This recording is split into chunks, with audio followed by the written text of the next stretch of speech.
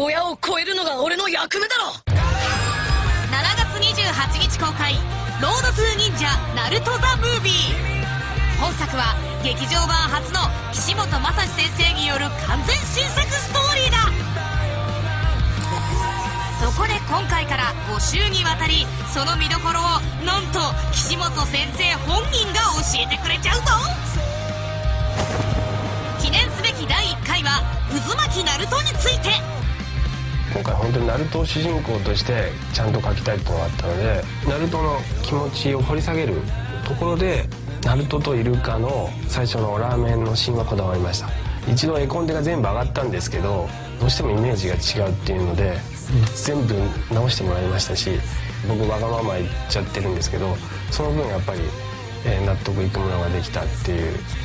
シーンでもあるので、見てもらいたいなって思います。あと今と特殊なのあの親子3人のシーンっていうのは漫画だともうお二人ともお亡くなりになってるのでそこはちょっとうん書けない。で映画だとそれができる方向性が見えたので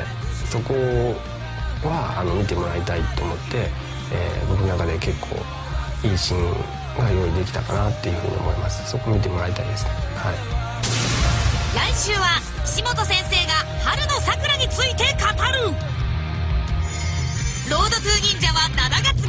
日公開。そして映画を見ると岸本先生監修の DVD とミラバトカードがもらえるぞ。